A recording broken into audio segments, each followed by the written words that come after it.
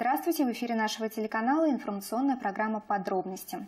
23 апреля исполняется 125 лет со дня рождения великого русского композитора Сергея Сергеевича Прокофьева. И сегодня у нас в гостях Сергей Оселков, дирижер Рязанского губернаторского симфонического оркестра.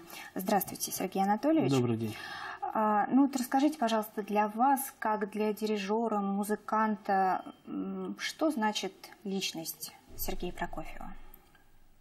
Личность э, композитора такого масштаба, как э, Сергей Сергеевич, для любого музыканта э, является личностью огромного масштаба, потому что он принадлежит к тому музыкальному Олимпу, на котором находятся такие композиторы, как Моцарт, Бетховен, Гайден, Чайковский, Рахманинов, Шостакович, Стравинский и еще много-много композиторов. И, безусловно, Сергей Сергеевич там занимает одно из самых видных мест, если так можно выразиться, про этот композиторский коллектив. А, непосредственно а, празднование юбилея Сергея Сергеевича, 125 лет со дня рождения. Кстати, я хочу сказать, что а, отдаленно, отдаленно, если, пусть это будет немножко нескромно а, с моей стороны, но мы с Сергеем Сергеевичем земляки, потому что он родился в, в одном из городов Донецкой области. Это даже не город было, село, станица – а я родился в городе Макеевка Донецкой области, поэтому отчасти можно нас а, считать земляками. Празднование этого юбилея, конечно, украшает этот год, а, ну, прежде всего музыкальный год. А, будет масса концертов, будет масса музыкальных э, и различных других просветительских мероприятий, посвященных этому юбилею. А, наша филармония подошла тоже очень серьезно и внимательно к этой дате.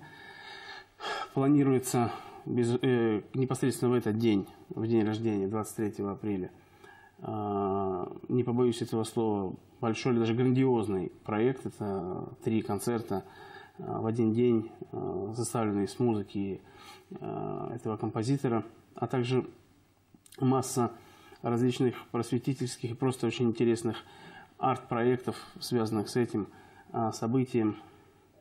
А, вплоть до того, что даже а, шахматный турнир будет э, проведен в стенах филармонии, потому что Сергей Сергеевич очень любил играть в шахматы, и между ним и известными музыкантами, такими как Дэвид Ойстрах, многими другими, э, были настоящие шахматные баталии. Об этом многие помнят, об этом написано в литературе. Поэтому будет шахматный турнир.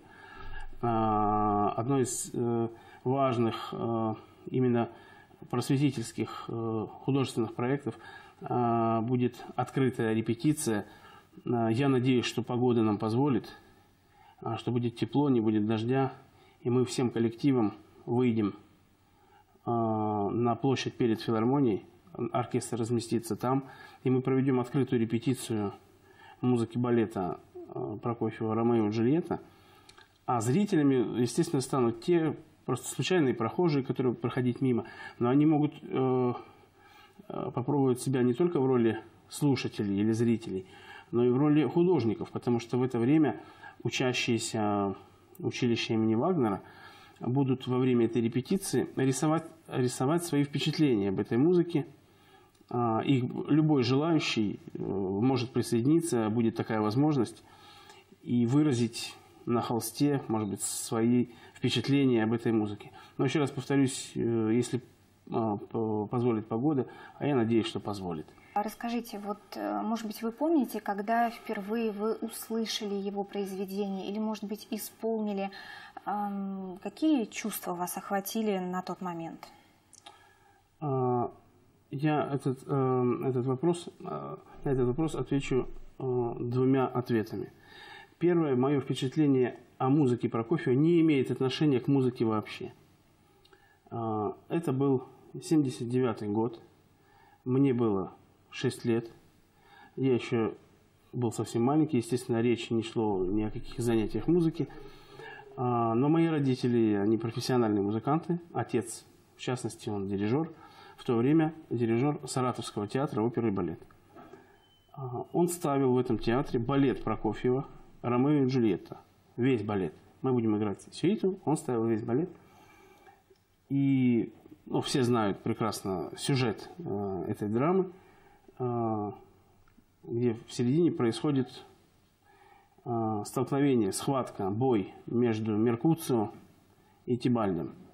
В балете это натурально дерутся на шпагах. Единственное, что шпаги, они специально, у них спилены а, а, наконечники и специально сделаны такие заглушки, ну, чтобы в случае чего не поранить.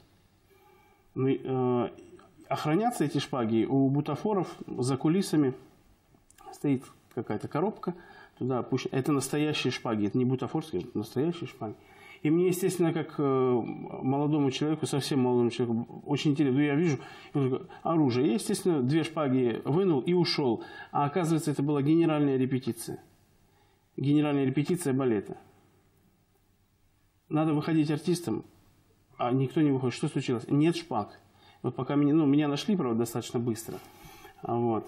Я получил по одному месту, мягкому, за то, что я вынул эти шпаги. Это мое первое столкновение, скажем так, в кавычках, с музыкой Прокофьева. А, что касается профессиональной, а, профессиональной точки соприкосновения первой, ну, это, пожалуй, наверное, опять же, музыка балета, самый знаменитый балет, Ромео и Джульетта. А, будучи еще студентом музыкального училища, я уже работал в симфоническом оркестре, в группе ударных инструментов, и мы играли, опять же, сюиту из этой музыки. Конечно, музыка потрясающая. А, пожалуй, она единственная из всех музыкальных произведений, которые написаны на сюжет этой шекспировской драмы. Она наиболее сильно, наиболее ярко передает те все коллизии, которые происходят непосредственно в этом сюжете. Сергей Анатольевич, я, конечно, не профессионал, но мне кажется, что а, музыка каждого композитора, она несет какую-то определенную эмоциональную нагрузку. Да? Вот слушая какого-то композитора, нам становится на душе легко, радостно. Слушая другого композитора, мы начинаем задумываться о каких-то серьезных вещах. Вот как бы вы охарактеризовали музыку Прокофьева? А, его музыка всеобъемлющая. А, он может э, затрагивать э, очень тонкие струны э, человеческой души,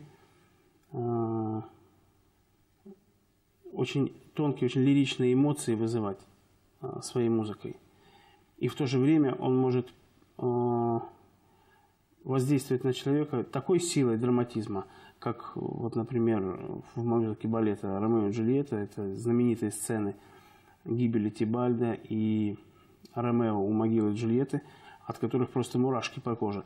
Поэтому э, э композитор очень разносторонний. В то же время в некоторых произведениях юмор полный сарказма. Э, юмор очень легкий, наоборот, ненавязчивый. Да, вот как, как пушинка какая-то. А есть действительно очень саркастический такой. А, настолько многогранный э, композитор, что вот, пожалуй, одна из его особенностей это то, что ему удавалось, удалось, удалось в любых эмоциональных состояниях создать музыкальные шедевры. Потому что есть композиторы, которым очень удается, например, драматизм. А, уже лирические э, стороны, скажем так, да, а, либо не удаются, а скорее всего в большей части они а, как бы не пишут в этом направлении, потому что знают, что их, их композиторская мысль вот именно в этом направлении, только в одном в серьезном а, как бы развивается.